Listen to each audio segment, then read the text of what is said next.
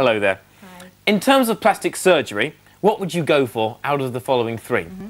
Breast enlargement, buttock enhancement, or complete facial reconstruction? Facial reconstruction.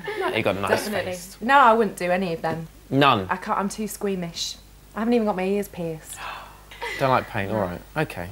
Do you like pain, Michelle? Mm. okay. Kelli. Yeah.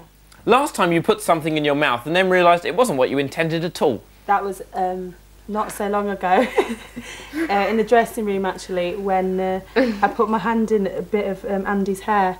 Oh my god. Andy, your boyfriend. Can we not bring my boyfriend into Sorry, but this? that's her, that's her boyfriend, and he just had his hair cut, and um, there was hair everywhere, and I put my hand. I didn't realise, and then Oh, right, you put my didn't finger in my mouth, and I had a bit of Andy's hair in my mouth. I did not appreciate that Oh. at all. If he wins, that could be the hair of a pop idol. Michelle, where'd you get them Janes? I go what?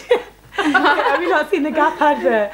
Did you get I them, obviously Jane? haven't. Get them too. All right, okay. Um, these ones I Yes. got these from Miss Sixty. Oh, lovely. I love that question. Thank you very much, Jessica. Uh, Tony, Yes. last pop star who blanked you. Um, any time I walk past Daniel Bedingfield, he blanks me, but I don't really mind with him. Jessica, Yeah. if something goes wrong in Liberty X, whose fault is it generally? That's a good one. Whose fault is it? Oh no, I can't say. I can't. Management. What were you gonna say? Management. Right. Tony, do you like hedges? Yes, I've jumped into a fair few. See, I got told that question would go nowhere, but clearly. this is the final question. It's open to all of you, actually. Okay. Is God a fan of Liberty X? He's definitely a fan of Daniel Bedingfield. Because I was watching him on Fame Academy and I said, Should I shut up here? Maybe. Keep going. Carry on. You jumped into a hedge, you can do this. Someone told me he said, like, God speaks to him when he's writing. So Mhm. I think Did he say that? he's out the same week as us, so we're up against God, you know. All right, well, good luck with the. We got a question fifth? for you actually. Go on. Oh yeah, Oh. yeah. Here's my big one for you. When are you next going on a date?